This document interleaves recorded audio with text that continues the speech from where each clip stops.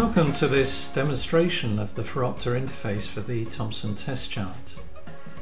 Exact details of how to set up your hardware to use the Phoropter interface are available in another video.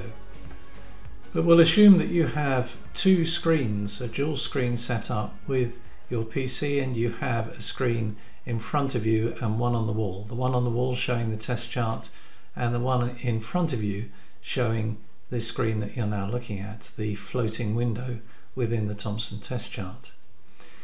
If you have the Phoropter module installed, you'll find in your floating window a button at the bottom of the screen labeled Phoropter and if you click on that it will load the Phoropter interface. So with the Phoropter interface you still have complete control over your test chart so you can do all the normal things you would normally do with a test chart uh, using either the buttons at the top here or you can continue using the remote control if that's your preference. You've also got a thumbnail of what is being displayed on the test chart and so that will show you exactly what you're looking at without having to turn around and uh, you can also point at letters and do all sorts of other things using the thumbnail here. So you have complete control over your test chart. But if we now turn our attention to the Phoropter interface, what we've tried to do here is to ease the transition from a trial frame to a Phoropter. So you'll see we have at the top of the screen a visualization which even looks a bit like a trial frame. So you can never be any, in any doubt about the lenses that are currently in place in the Phoropter. So in this demonstration I'm just going to show you the basic functions of the Phoropter control. In um, other videos I'm going to show you some of the more advanced features. So in terms of the basic functions, if you simply want to change the right sphere, then all you have to do is select right sphere here and then you use the mouse wheel to dial up the lens that you want. And you can see as I do that, the visualization actually looks like a trial frame. It even goes red when the spheres go positive. Likewise for the cyl, you just select cyl and dial up the lens you want and likewise with the axis.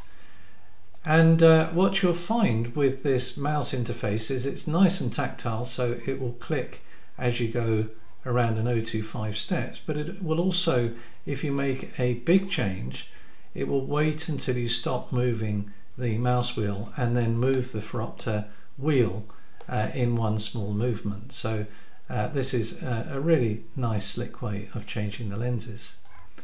If you want to change both the right and the left eye at the same time you simply click in the middle and you'll see that both the right and the left spheres are now selected and if I use the mouse wheel they will both change simultaneously and the same applies to both cyl and axis.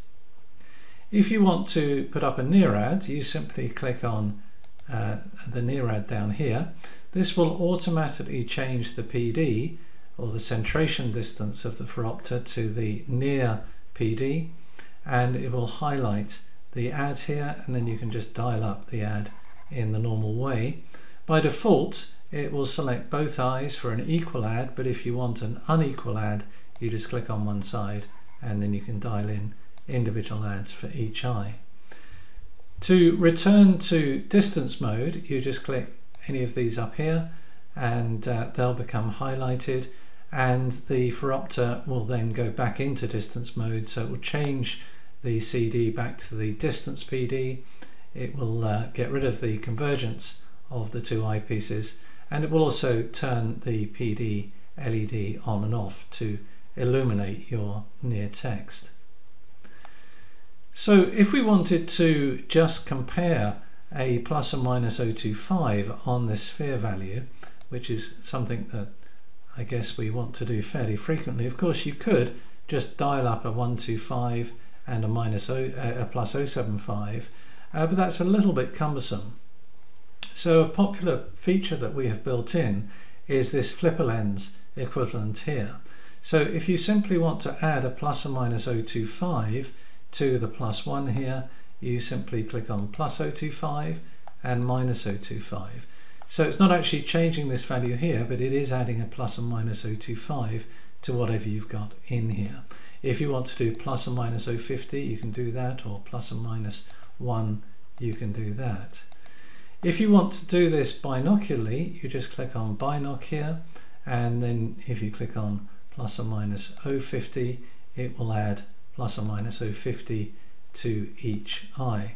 So that's a really useful feature for, for doing confirmation of sphere power. Uh, at the top here we've got a, a, variety of options, the commonly used options. So uh, you can put up a ret lens in front of each eye. You can actually select the power of this uh, ret lens from the options and the program setup under the Phoropter tab. Uh, if you want to simply blur one eye, fog one eye, fog the left eye, you uh, select monocular first, then fog left eye, there we are, and fog the right eye. If you want to occlude one eye, you can either click on cover left eye uh, and cover right eye, or you can actually just click on the eye itself, and that has the same effect. You've also got pinholes, right and left, and uh, then you've got prisms here as the last option. So if I select prisms, it will put up two additional boxes uh, at the bottom here. We figured that it probably wasn't a good idea to be ramping up prisms while the patient is looking through the phoropter. So this allows you to actually dial up the prisms that you want to put in. So let's just put in one and a half prism diopters base in. Uh, but this hasn't actually been put into the phoropter yet. To do that, you have to click on incorporate and then both of these prisms are put in at the same time and likewise you can take them out at the same time by clicking on that again. By default um, these will be selected individually but if you simply want to um, increase the base in prism equally in each eye for example if you click on monoc it will change to binoc if I now change the uh, rotate the mouse wheel it will add the same amount of base in prism to each eye. And the same would apply for vertical prisms, but of course with vertical prisms they would be base up and base down. But do remember that the prisms will not be incorporated uh, unless you've got that selected and that will leave you in no doubt that you've got the lenses, the, the prisms in. To get rid of the prism boxes we just click there. The supplementary lenses here at the top are fairly self-explanatory. So you've got red-green filters, you've got polarized lenses in both orientations, you've got a Maddox rod horizontal and Maddox rod vertical. And this is a, a vertical prism, uh, six prism diopters vertically, which can be used to uh, evoke diplopia for binocular balancing. Over here, you've got um, the LEDs, so you can illuminate the LEDs at the back of the phoropter when you're measuring PD. Uh, these are the alignment crosses. I'll deal with those in a moment when I cover the PD adjustment. Near LED manually turns on and off the LED at the front of the phoropter, which is used to illuminate the reading card. By default, the axis here changes in five degree steps as you rotate the mouse wheel. If you've got a high cyl, you can put them on one degree steps and then uh, this will change in one degree steps. We'll put it on back on five degrees. To change the uh, centration distance of the phoropter then you just click here and uh, you'll find that it will automatically put in place an alignment cross in front of each eye and will also turn on the LED at the back of the phoropter to illuminate the eyes.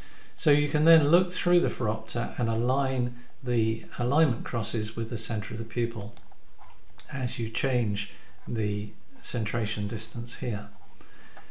To get rid of that you just click on anywhere else so click on sphere here it will then get rid of the alignment crosses and get rid of the or turn the LEDs at the back of the phoropter off again. So the one remaining thing to show you is the cross cyl.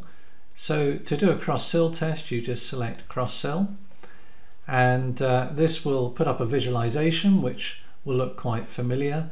Um, the black, by the way, uh, represents minus and the red represents plus. So to, um, to change from power to axis mode, you just click there. And to spin the cross cyl, uh, you simply click on this button here and you'll see from the visualization what is happening. Now with the Topcon Phoropter, uh, it has a very uh, has a red rim in one direction and a green rim in the other direction. So the patient does actually see a very slight red tinge and a green tinge while you're doing this test. So you can simply say, is it clearer with green or red? And of course, we're in axis mode at the moment. You could then just manually look at the plus and minus axis here and adjust the cyl accordingly. To make things a little easier, you can just use the red and green buttons here. So if I spin the cross cyl and say, is it clearer with the green or the red? If the patient says red, I just click on the red and the cyl will then move in the right direction.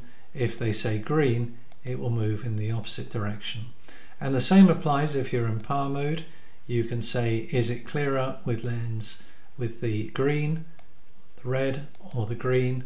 If they say the green, it will then decrease the cyl power and if they say red it will increase the cyl power so that just makes the process slightly easier. You've got a plus and minus 025 cross cyl, plus and minus 050 and also an auto cross cyl which is the simultaneous view cross cyl. So to get rid of the cross cyl you simply click on cross cyl there and uh, it will remove it. The cross cyl will be shown in whichever eye is currently selected. So if I select the left eye and now do cross cyl, it will automatically include the right eye and uh, put the cross cyl in front of the left eye. So that's a very quick demonstration of how the Phoropter interface within the Thomson test chart works. In other videos I'll show you how to use the scratch pad to import a prescription from your patient management system and also how to use the program interface here.